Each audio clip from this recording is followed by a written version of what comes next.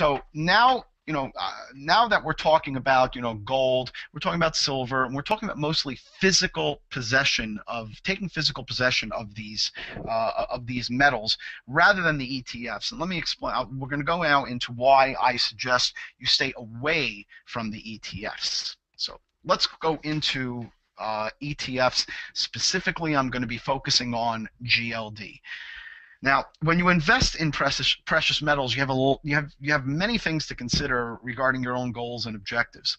Many view metals as insurance against government or financial system collapse. Others view it as a capital investment within their larger portfolios. But no matter how you view the metals, there's one important factor you must consider no matter for what purpose you choose to invest in precious metals. That is assurance of maintaining the value of your investment, which is apart from the market risks one accepts when entering into any investment. When deciding upon your investment vehicle, you've got many choices. One can invest in metal bars, metal coins, collectible metal coins, metal ETFs, or even options on metal ETFs. While there are benefits and drawbacks to each of these vehicles, the purpose of the presentation, this part of the presentation tonight, is to highlight the serious dangers involved if your investment vehicle of choice is a metal ETF, or even worse, options on those ETFs. You probably may not know that I'm an attorney by training.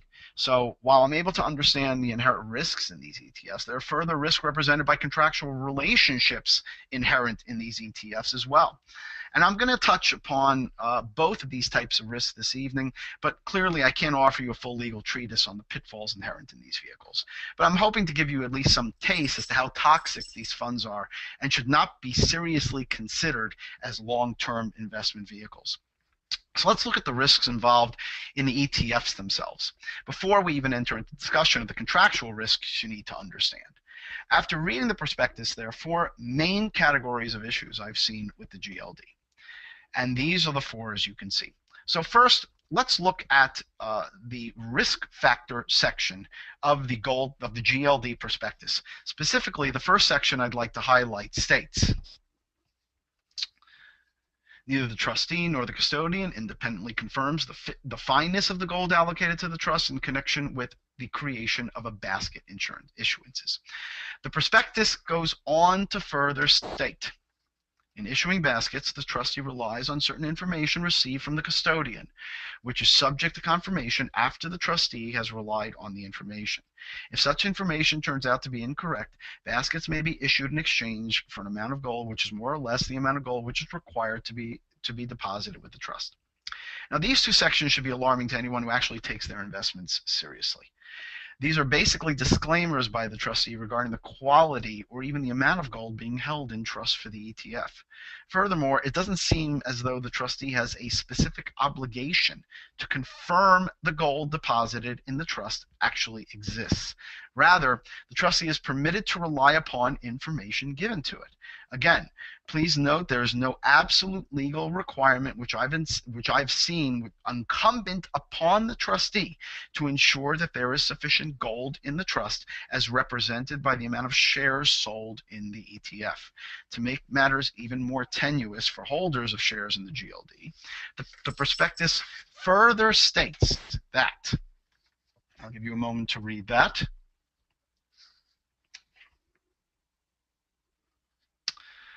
Now, what, what all this is saying is that not only does the trustee have no obligation to ensure that there is a sufficient amount of gold within the trust, even if it wanted to do so, its ability is further limited by the contractual relationship it has entered into with its custodian within the custody agreement. Furthermore, if there is a sub-custodian, sub-custodian holding gold for the trust, the trustee has no right to ensure the existence and accuracy of the gold reported and held by such sub-custodian. This truly blew my mind when I read this. Forget about even requiring an audit, which it clearly does not. The trustee cannot even step onto the premises of a sub-custodian or even review the records of a sub-custodian.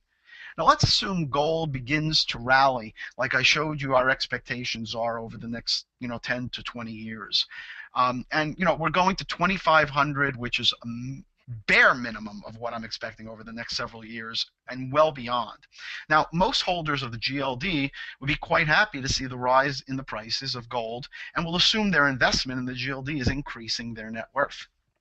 But what happens if it comes to light that there are issues with the quality or amount of the gold being held in trust by a custodian or sub-custodian?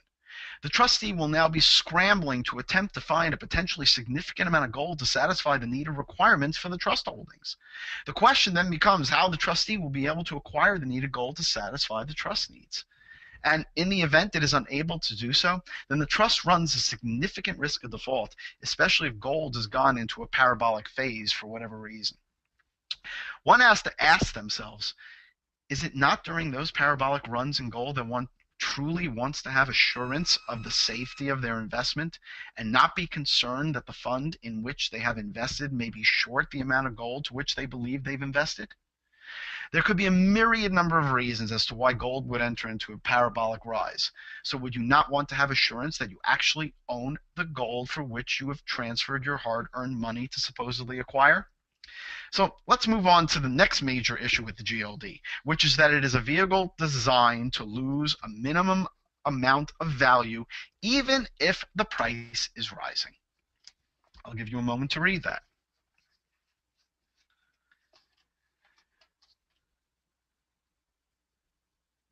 And then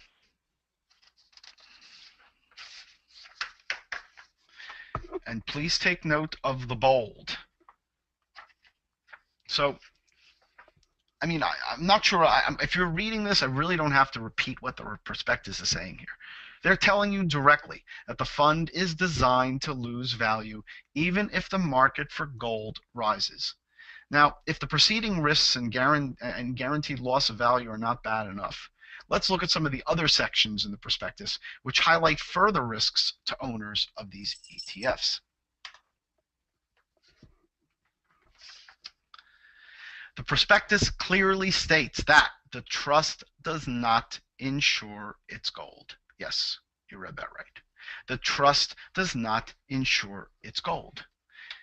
It further goes on to state if the trust gold is lost, damaged, stolen, or destroyed under circumstances rendering a party liable to the trustee, to the trust, the responsible party may not have the financial resources sufficient to satisfy the trust's claim. So the prospectus is clearly warning you. It is clearly warning you that there is no entity, nor is there any insurance backing potential risk of loss to the physical gold on hand. And yes, folks, it can get worse. There are further counterparty risks that make this investment vehicle even less appealing to own as an investment.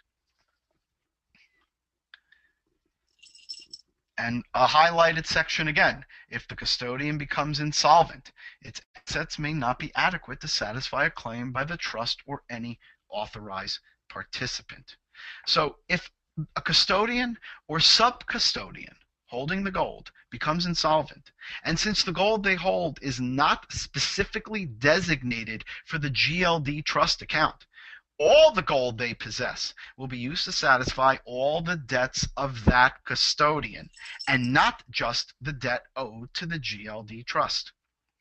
So this now brings me to the discussion of what happens in the event of a default of the custodian or the ETF itself. Well, in the event of a default of the trust itself in which the gold is held, one becomes an unsecured creditor of the trust. That means the trust will likely be required to liquidate its positions in the metals and satisfy the unsecured obligations of the trust, usually at pennies on the dollar. None of the gold being held in trust within the GLD is designated to each holder of shares on an individual basis. That means that the shares you own in the GLD does not have specific gold that is designated to you as the owner of those particular shares. Therefore, all the owners of the gold, of the GLD, have equal rights to all the gold being held in trust or whatever is left. So if there is not sufficient gold to satisfy all rights to that collective gold, all the owners are subject to only a pro rata share. In other words, their pro rata share gets reduced in, from their ownership interest in the total gold being actually held and on hand. Now, when you invest in gold, don't you want to assure yourself of having an asset which retains some amount of value, especially when you consider where gold potentially is headed over the next 10 to even 30 years from now?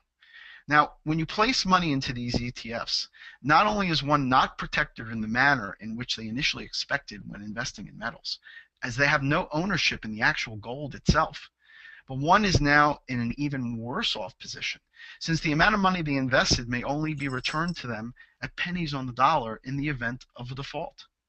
To make matters worse, if one invests in options on these ETFs, then you are even one step further removed in the line of unsecured creditors than even the owners of the ETFs themselves. An option is a contract upon the ETF. So the primary stakeholders are the ETF owners, whereas the owners of the options on the ETFs would stand in line behind the ETF owners in the event of default. The chances of an option holder being given anything are so far remote you probably have a better chance at winning the lotto. Therefore, in the event of a default, the chances of an option holder to actually be made close to whole on the in, on their investment is close to nil.